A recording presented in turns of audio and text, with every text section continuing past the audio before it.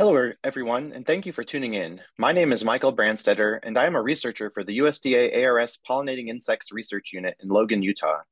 I focus on the use of molecular data in bee systematics and conservation, and the title of my talk today is on best practices for managing native bee molecular data. The first couple of slides are to present some bigger picture ideas about molecular data in bee research. Molecular data can be used in a variety of different study types, including phylogenetics, species identification, taxonomy, and genomics. Molecular data can also be generated in different ways, from sequencing single DNA barcodes to entire genomes to metagenomic data, and these data can come from single specimens, which could be fresh or from museums, from bulk samples containing many specimens, or from environmental samples, such as flowers. Thinking about the goals of the native bee monitoring community, species identification and taxonomy are probably two of the most important study types, and DNA barcoding of fresh specimens will likely be one of the more common approaches. In terms of data management and deposition, it is important to consider data at different stages. There's the initial raw data output from the sequencer, there's process data, which results from cleaning and assembly of the raw data, and then there's data sets which include data for multiple specimens and generally apply to single projects or papers.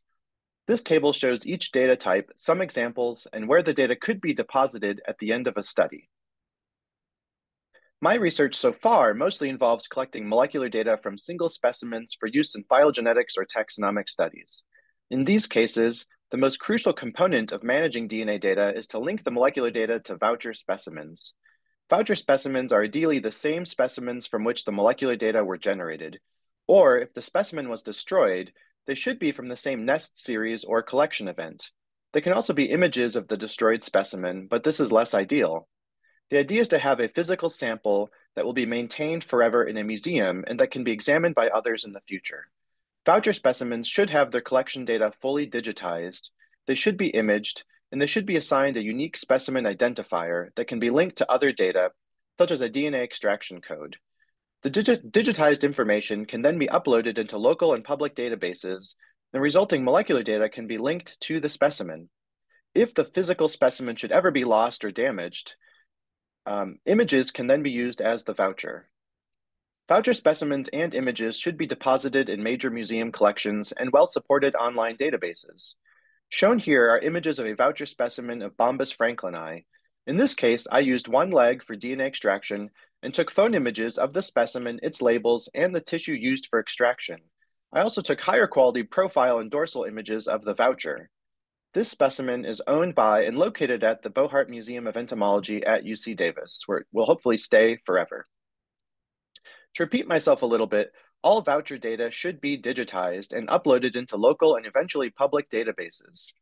Important specimen data include the locality information, collection event data, host plan information, the unique specimen code, and the DNA extraction code. The extraction code itself can be a database accession number that is linked to other DNA data fields like the extraction method and date, the quantity, and the quantity and quality of the DNA. I also like to create sample names for DNA data that allow a convention that follow a convention of genus, species, and extraction code. This name can serve as a unique code in papers and data repositories. Once a molecular study has been completed, or even while the study is ongoing, data should be uploaded to public repositories. Three of the most common public repositories for molecular, da molecular data are NCBI, BOLD, and Figshare. The first two are molecular data repositories specifically. NCBI is the national repository for molecular data in the United States, and it consists of many databases. The Sequence Read archive is used to upload raw next-generation sequencing data. GenBank, in contrast, is used for cleaned and processed nucleotide data. Nucleotide data. Individual sequences um, can be queried for identification and best matches um, using the BLAST tool. NCBI also includes a taxonomic database that provides classification information for samples. The BOLD database is the central repository for DNA barcode sequence data. BOLD stands for Barcode of Life Data System. This website focuses on barcode genes only, like cytochrome oxidase 1 for animals, and it has useful tools for species identification, species discovery, and dataset analysis. BOLD can also submit sequences into GenBank automatically. Both NCBI and BOLD require that sequences come with specimen metadata and voucher information.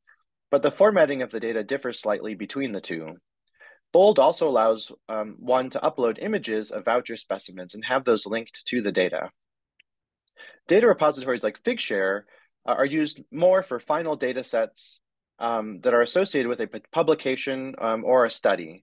These repositories can house raw or processed data, but are usually best for complete data sets, results files, and study metadata. Examples might include DNA alignments and phylogenetic trees. Um, other data repositories include uh, Dryad um, and Zenodo. Here, I zoom in on Bold because it has one of the best quality interfaces for uploading and viewing specimen data and sequences. The long image on the left shows all of the available information for one specimen barcode. Zooming in, we can see an image of the voucher specimen and a map showing where the specimen was collected. Other information includes taxonomic details and information about how the species was identified. You can also see the barcode sequence in nucleotide format and in a color-coded barcode format. So to sum up key points about managing molecular data, here are some things to sort of take home. Always link molecular data to voucher specimens or sample data if no vouchers exist. Make sure to digitize all of your voucher data and to deposit voucher specimens and DNA extracts in museum collections. It's also important to upload data into public repositories um, and at the end of the study to publish data sets um, in data repositories. And these are usually data sets that support a publication or a report. Um, there wasn't enough time to talk about everything related to, to DNA management. So here's some other sort of things to consider. Um, um, one thing would be sort of how to collect and curate species for preserving DNA, um, software for processing and organizing DNA data, backing up data before publication, updating specimen voucher information in public databases over time, and also fixing incorrect public data submitted by others. That's all we have time for today. Uh, thank you for your time and attention. Please feel free to contact me um, if you have any questions. My email is shown at the bottom left of the slide. Thank you very much. See you later.